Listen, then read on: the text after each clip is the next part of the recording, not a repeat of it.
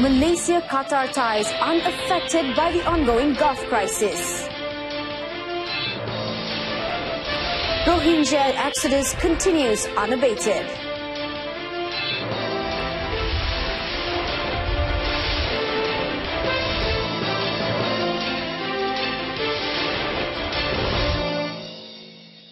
Good afternoon, I'm Cynthia Arthur. You're watching News on 2. The Yang di-Pertuan Agong Sultan Muhammad V has expressed hope for more Malaysian companies to be given the opportunity to enhance Qatar's economy. His Majesty said this following the success of a Malaysian company in completing a new building project for Qatar's Ministry of Interior, which also serves as the Qatar Prime Minister's office. Sultan Muhammad V also expressed his appreciation for the confidence and opportunities accorded by the Emir of Qatar to Malaysian companies in various projects in Qatar, like in the service and construction sectors.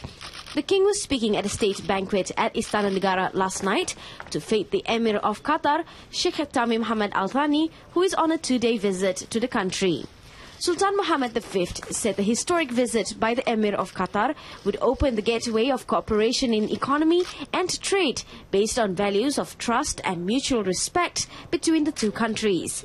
Qatar is Malaysia's 40th largest trading partner with trade volume reaching 2.37 billion ringgit in 2016. Meanwhile, Prime Minister Datuk Seri Najib Tun Razak has stressed that Malaysia and Qatar have been enjoying good relationship for four decades and the current Gulf crisis would not affect the ties of both countries. Malaysia's economic ties with Qatar is based on the spirit of cooperation with the Muslim world. Sebab hubungan ini dah lama, uh, 43 tahun terjalin dan uh, lebih-lebih lagi uh, sebagai sebuah negara kita berdiri atas uh, prinsip uh, kerjasama antara semua negara dengan semua negara dan juga uh, kerjasama dalam konteks hubungan dengan dunia Islam. Uh, kita mengamalkan prinsip wasatiyah uh, dan kita juga mahu uh, pertikaian sesama negara Islam uh, dicari penyelesaian yang sebaik-baiknya tanpa uh, kita mencampur tangan dalam urusan mana-mana negara. Dato Sri Najib told reporters after his meeting with Qatari Emir Sheikh Tamim Hamad Al Thani in Putrajaya yesterday.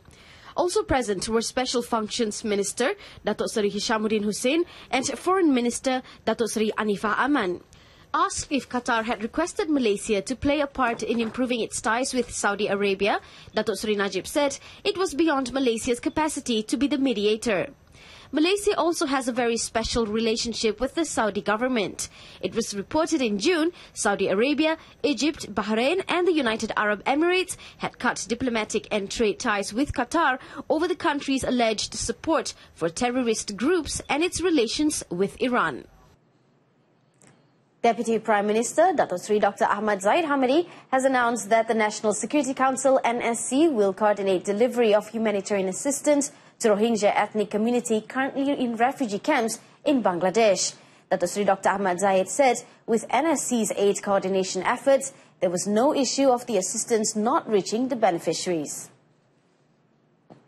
Saya tidak fikir uh, jika ada kekhawatiran derma-derma ini tidak sampai kepada matlamatnya dan uh, sama-sama saya juga ialah uh, General Tan Sri uh, Zulkifli uh, yang berada Uh, dengan saya dan uh, beliau uh, akan mengkoordinasikan uh, dengan uh, pegawai MKN untuk menentukan bahawa semua bantuan akan sampai kepada uh, kumpulan sasarannya.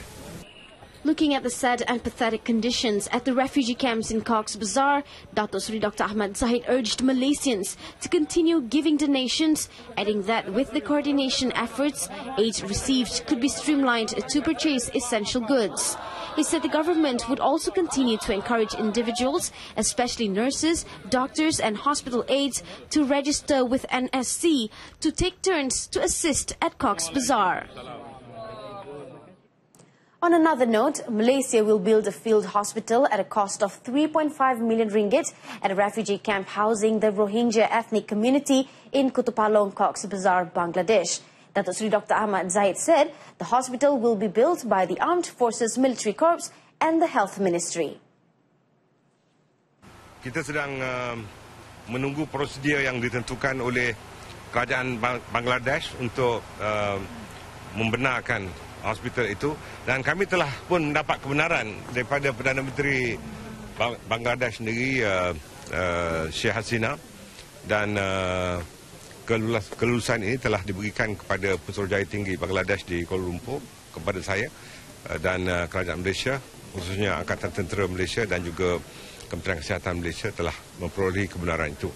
Dan uh, insyaallah dalam tempoh sebulan uh, hospital Medan itu akan uh, beroperasi sepenuhnya 35 medical personnel, including doctors, nurses, and hospital assistants, will be stationed in hospital, which can accommodate about 50 patients.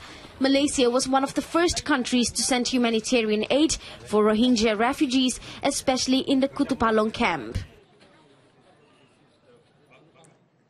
Commenting on the matter, Health Minister Dato Sri Dr. S. Subramaniam says Malaysia is ready to provide medical personnel and aid in Cox's Bazar adding that a complete list of experts and medical personnel involved in the mission has been obtained. The ministry is only waiting for an appropriate time to depart to the country.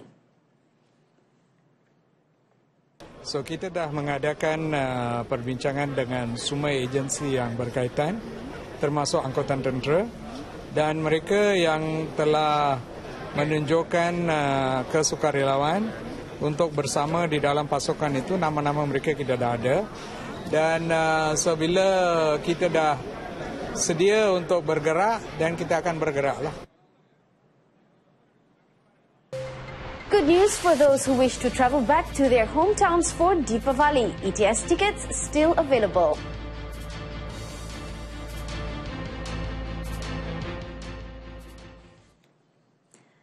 Vehicles of all classes using the Damansara Puchong LDP and Sprint highways will enjoy toll discounts of 60 cents and 20 cents respectively in conjunction with the Deepavali celebration.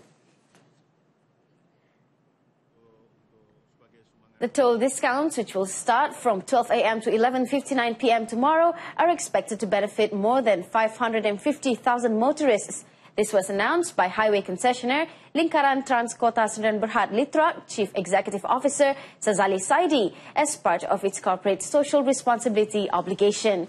An estimated 410,000 LDP and 167,000 Sprint highway users will benefit from the discounts involving a total subsidy of 280,000 ringgit.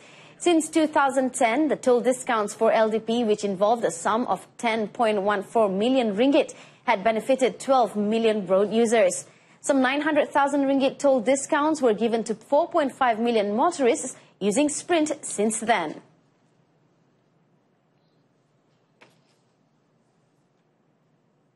Meanwhile, Kereta Api Tanah Melayu Berhad, KTMB, has invited those returning to their hometowns for the Deepavali celebration to use its electric train services, ETS, rather than braving festive season road traffic.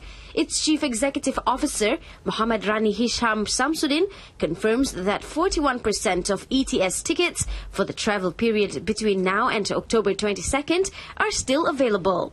For the intercity train service, 48% of tickets have been sold. Also in conjunction with Deepavali, the ETS has introduced a special menu for passengers until November 10th which includes chicken biryani rice, nasi minyak, aloo gobi, and masala ayam. Affin Group will enlarge its focus in the consumer banking segment as it sees immense business opportunities there despite it being a competitive environment. According to Affin Holdings CEO Kamarul Arifin Muhammad Jamil, the bank's current size and reorganization exercise, which also saw the transfer of the listing status from Affin Holdings to Affin Bank Berhad, will also help this endeavor. This bank used to be very uh, corporate-centric. You know, it used to have about 55% corporate, uh, about 45% uh, retail. I think we are moving more towards the retail end, whereby even this year alone, I think we are close to 50% uh, consumer or retail already. Uh, uh, but uh, we also are growing our SME side. Uh, so the asset composition of the, the, the bank is actually growing. Because of its small size, Affin will also have more freedom to tailor its offerings to retail clients, which is something that the bigger banks are not able to do so. For the first half of 2017, the bank saw its loans books growing by 2.5%. The bank is anticipating the full year growth to be in the region of 6%. That concludes this afternoon's edition of News on 2. In our top story, Malaysia-Qatar ties unaffected by the ongoing Gulf crisis. We'll be back at S7 for more updates. Till then, I'm Cynthia Maryline Arthur. Thank you for watching and have a pleasant day.